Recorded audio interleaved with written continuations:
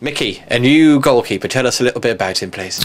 Yeah, the lad Leutwiler. Um, again, potential, uh, but got a lot of experience uh, under his belt, being at a fantastic club like Middlesbrough, being in around the Champions League um, when he was over in, in, in Switzerland. So brings experience, a lot of experience of being in that, although maybe not always a number one, but in and among groups that have competed in their levels.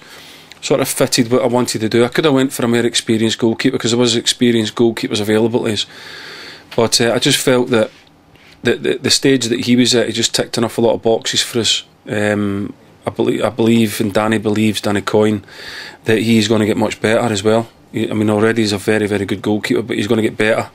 He wants to get better, um, and that's the type of team that I want to put together. A group that that uh, are very ambitious and, um, and and want to to get to get uh, better and, and get their own careers into a better place. So, like I say, he ticks all the boxes of what we're after.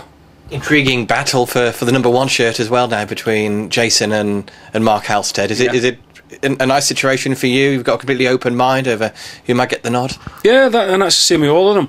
I had a conversation with a player the other day, and I told him the same. Everybody starts on the start line, uh, and when the gun goes, you be the one to make sure that you, when they first eleven get picked. Um, I, will be honest. I've, I've, never ever. I've always had one rule as a manager. I'll, always pick a team that I believes it's wins. So I'll never go against that. So yeah, they two have a good battle. Halstead's in the same sort of situation. Again, a lad who I, I know can get much better, um, and, and already is a very good goalkeeper. And again, has been around the Premier League, been about Championship, so knows what it's like to prepare for games at their levels. Now just needs to get the games under his belt. So it should be for the two of them fantastic because the two of them will, will uh, go toe to toe for that position, and they know when they're when they're holding the jersey uh, they have to keep up a level of performance because they know they've got somebody um, knocking behind them. And then we've got our two youngins again below A2 who um, will be given the time to develop properly as, as young men and, and goalkeepers.